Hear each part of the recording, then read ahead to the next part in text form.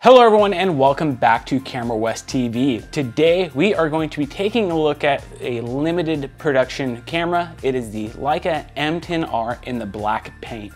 Now that is a gorgeous looking camera from what I've seen in the pictures, but before we do, we're gonna be comparing it to this Leica M4 that's in black paint and a matching Leica 35 Summicron in black paint. Let's take a look. So we're actually gonna be unboxing this camera So we've got Leica M10R black paint body. Let's take a look at this beautiful thing.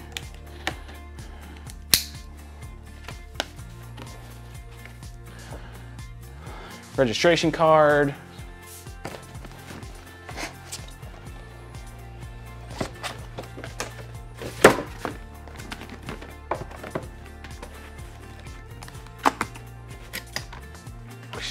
It's always fun when it does that personally.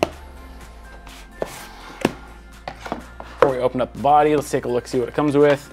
I'm assuming it comes with the standard affair of quick start guide. Yeah, typical stuff here. LHSA, Adobe. Yeah. Open up the accessories. Charging cables, strap, charger, and battery. Let's take a look at the strap real quick. Oh, looks like it's just uh, a kind of standard black leather strap.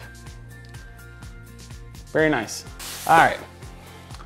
Now, this is what we have been waiting for. Let's take a look at this thing here.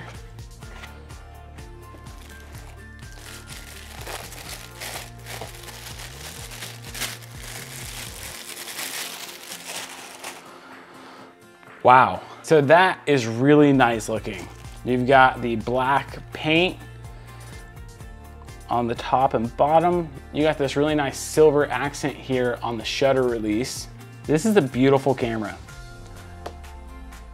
I think once you start using this camera and you start wearing down the paint, I think it's going to look phenomenal. Now let's see here.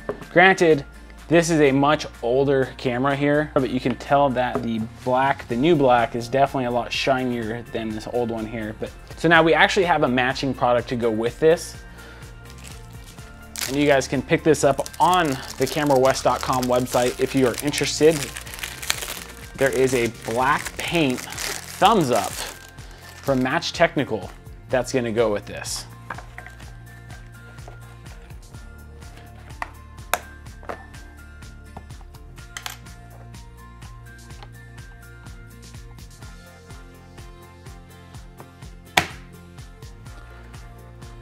That is nice. So the thumbs up is gonna give you a really nice position to hold onto the camera with. I personally like shooting these rangefinders with the thumbs up. It just gives me some added security when I'm holding the camera. So a couple things that you're gonna notice about this camera is that it does not have a Leica red dot on the front.